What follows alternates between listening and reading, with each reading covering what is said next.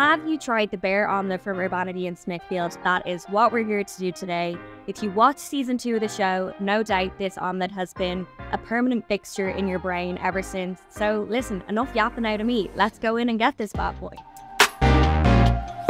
You've likely seen countless recreations of Sydney's crisp topped French omelette all over your social feeds. It'll probably go down as one of the most famous dishes in TV history, you know, like Carmela Soprano ziti or the Krusty Krab signature Krabby Patties. The dish provided a much needed moment of calm for the series, but more importantly, had everyone thinking, sure, even I can make an old omelette at home. A stark contrast against the herb tweezing, coulis blobbing, largely unattainable fine dining offerings usually featured on the show. Enter Urbanity in Smithfield, the friendly neighbourhood cafe who've made their own take on the famous eggs a permanent fixture on the menu. Knowing how carb reliant Irish cafe goers are, Urbanity serve up their eggs in scrambled form on a bed of lightly toasted tartine sourdough, which I think we'd all agree is a welcome addition. The organic eggs are silky and perfectly seasoned with generous blobs of herby cream cheese, and Urbanity aren't messing around with the crisps. Homemade, hand cut ridge delights with that all important tangy hit of sour cream and onion Honestly, hunky dory could never. Definitely want to try if you're looking for a comforting, very satisfying brunch,